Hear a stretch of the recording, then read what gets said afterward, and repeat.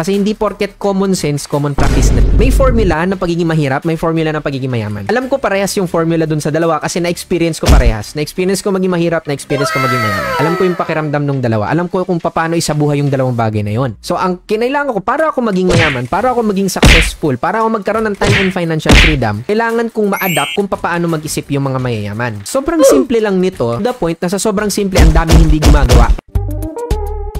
Kasi hindi porket common sense, common practice na din. Ngayon palagi niyong tatandaan. Yung iba kasi sa inyo, baka, nyo, baka sabihin nyo, Da, Carl, common sense. Paulit-ulit na namin naririnig yan. O bakit mahirap ka?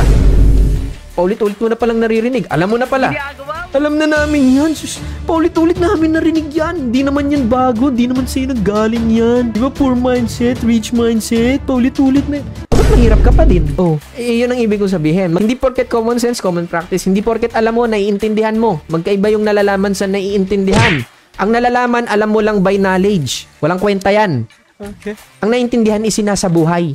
Kaya nakikita sa resulta.